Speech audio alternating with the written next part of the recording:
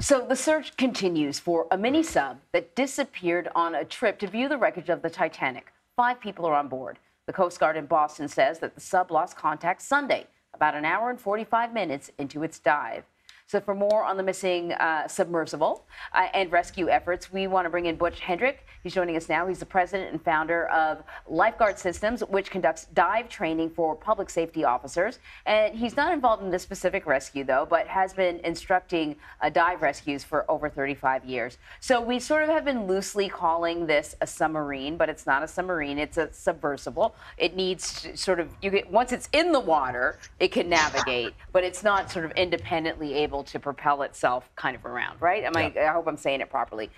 This seems like an incredible complex rescue because they don't even know, to start things off, they don't know if this submersible is under the water or on top of the water. Yeah, it's going to be difficult because, yes, we know that it entered the water at a given time. We know that it had a basic life support system for 96 hours and we know its project was to go to the bottom at 12,500 feet to be at the Titanic. Not, approximately 90 minutes after its launch, entering the water, it lost communication. It's very possible that by that period of time, it was already on the bottom, getting ready to view the Titanic, mm. and it could have gotten itself entangled somewhere. Entangled, it's possible that its communication antenna was dislodged, broken, and they lost communication, and that they would still be reasonably possibly with another 40 hours of life support based on the information given. The the the other scenario, which was uh, put forth by uh, a CBS Sunday Morning correspondent David Pogue, who actually uh, was in that submersible uh, a few years ago doing a story, is uh, that something horribly uh, went horribly wrong there was an infrastructure issue with the craft itself. Um, and as you know, the pressures at that at those depths are incredible. In fact, uh, correct me if I'm wrong. Most most military type submarines uh, generally don't dive any deeper than uh, than 1,500 uh, uh, feet. We're talking about uh, almost 12,000 feet. I think that the mm-hmm. Titanic is at the bottom of, of, the ocean there, and this might have happened at 9,000 feet, which I think is where they lost communications.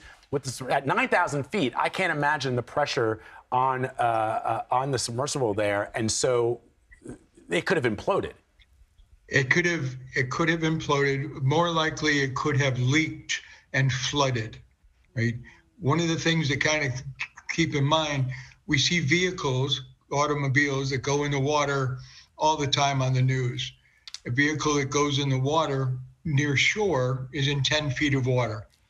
That pressure differential over surface pressure is about five pounds per square inch, and you cannot open the doors. The pressure is so great, we can't open a door until the water floods the interior. This, at 12,000 feet, it's 5,000 psi greater than surface pressure. Mm. So the pressure of its its own pressure, there's no re- opening a gate, there's no opening a window, there's no making an interactive lock. What we do look at is if it had a small leak, it's possible that the electrical system has been affected. And if that happened, then it may be again that they could still be alive, interior, and breathing and hoping for someone to come and get them. Now, it, it, sorry, the other thing that we mentioned is that they still are sort of trying to determine if perhaps it's on the surface. This has submersible has several mechanisms to propel itself up to the surface. Um, and when I first heard that, I thought, and the other thing is they can't get out. Even if they're on the surface, they can't get out because it's bolted shut from the outside. So it's important to find them. But I thought to myself, well, if it's on the surface, can't you just fly over? I mean, why can't they just visually see whether or not it's on the surface. Could weather conditions be making it difficult? Well, it's also the size, the surface area that they're searching is the massive. size of Connecticut or or the country of Ireland, is right. what I understand. But you would have a, a, ballpark area where they would be headed at least, right? It, I mean, what would what would make it difficult to identify them on the surface? Well, right now, as I understand it, the winds are moving between 28 and 30 miles an hour. Mm. The sea is anything from a from two to three foot high with white caps. So it could be difficult, but you are looking at the individuals the Coast Guard, United States, Canada, et cetera, that are out there, they're t- trained on how to see this. Mm. They're flying fixed wings aircraft. They're, they're able to fly 100 miles square without in no time whatsoever. We are looking at the potential that if it drifted in current, it could be several hundred miles from where it entered the water. But again, looking at a fixed wing aircraft and the highly trained personnel that are in those aircraft searching, they know how to look for this. They'll be look, looking for any, they've also got equipment on deck that'll allow them to suddenly realize there's something on the surface besides the visual eye. Most likely, it's not at the surface. Most Mm. likely, it's subsurface. And we'd like to think that it, they still have 40 hours of life support. So being positive, and I'm sure that that's what our, our Coast Guards and Canadians are doing, is telling their crew, we still have approximately 35 to 40 hours of life support. We still, this is still a potential rescue. Keeping it positive will keep the crew at all levels working hard. As soon as we go to, well, we're not going to find it, it's over, the whole potential of the morale drops. When morale drops, we lose a whole massive part of that rescue.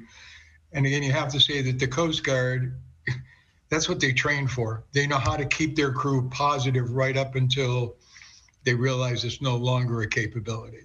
Can we talk about, and uh, uh, understanding that we know nothing at all about this, but what kind of, I guess, math and science goes into trying to calculate based on conditions, based on the, the, the water, based on the, the weather, Yes. given that this this uh, craft does not propel itself, what kind of calculations go into trying to find something that is drifting in water? I mean, uh, human human beings from the very beginnings of our of, of civilization have been able to navigate the ocean's surface um, using math and science, and I wonder Yes. what kind of math Yeah. and science goes into trying to figure out things underwater. Right. First of all, this unit cannot travel like that we think of a boat or a vessel that can move across the surface, but it does have mobility. It has the ability to rotate, rise, and fall in the water column. It has, if you will, it has the ability to do minor motions with small motors. It just can't propel itself quickly in the ocean. When we start to look at current, the moment I think of a one knot current moves at 100 foot per minute. Hmm. So if it's caught in a current that's running at six to eight knots, it's moving six to 800 foot per minute. Wow. The Wow. Coast Guard knows that.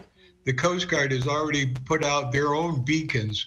What would have helped is if the submersible had had releasable transmitters that could have come to the surface, and the moment they realized we were in trouble, the trackers could have said, okay, this unit came to the surface here. Here's what the current and wind have been doing.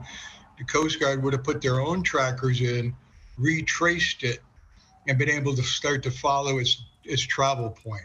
So if it's drifting mid-water in the current, they know how to track speed. They'll do what's called fetch and track. They'll be tracking it based on currents, winds.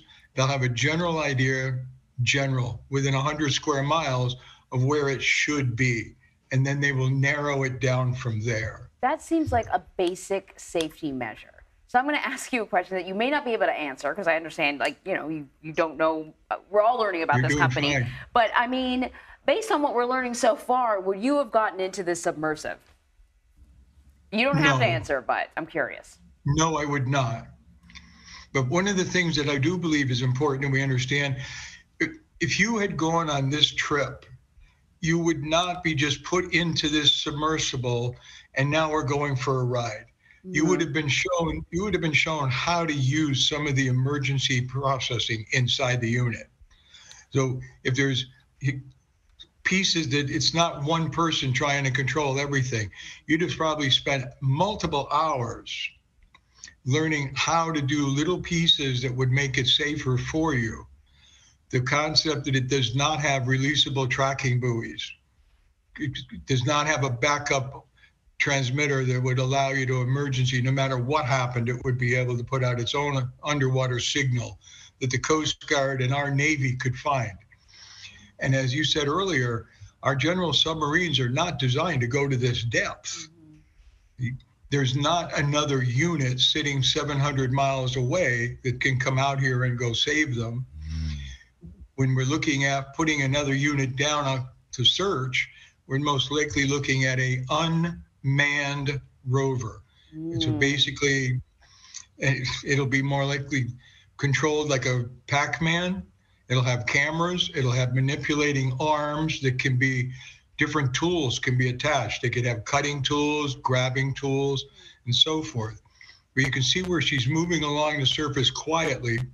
Then when she descends, the submersible has the ability to maneuver, turn. You see little fans going there. Those are actual motors. And very often those would be on the front of a large ship to help it dock. So it's very quietly in motion. But the Ender, I'm sorry, the Titanic has so much debris across it that the the thought of it being entangled, it's caught on something and can't get itself out, is extremely high. Mm. The second the second thought, as you've already mentioned, is did it have a a leak? Is water come into it, destroyed the or damage the electrical system? It can't communicate. It can't do what it's supposed to do. Uh, uh, Butch Hendrick, thank you so much uh, for your expertise. We appreciate it. And I thought you'd ask great questions for people who don't know the system. Thank, Thank you. you. Thank you, Butch.